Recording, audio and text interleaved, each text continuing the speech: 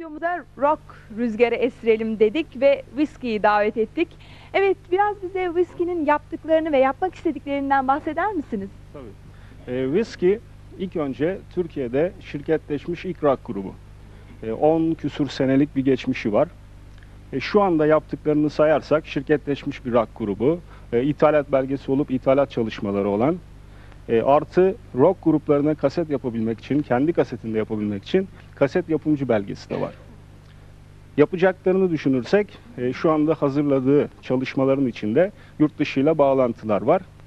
Ayrıca e, Whiskey şirketleşmenin içinde e, büyük bir organize halindedir.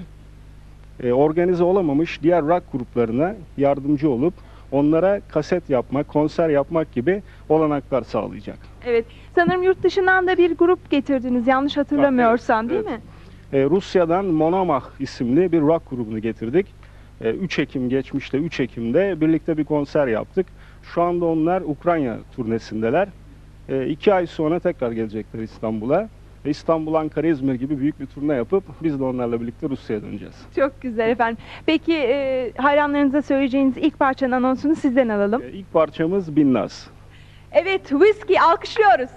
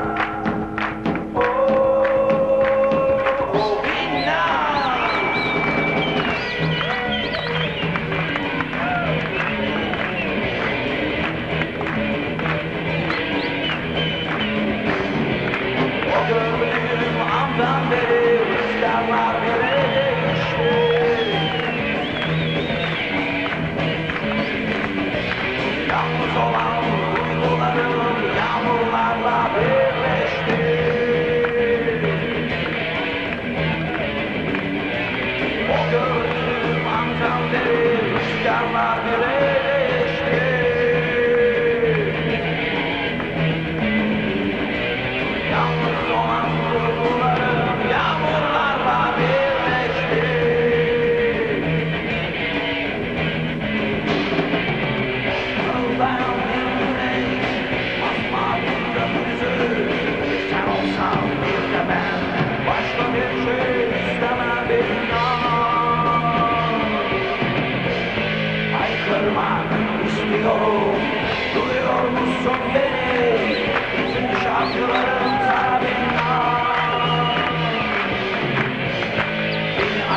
Bir gül gibi, toplasam her gün seni Doyasıya sarılsam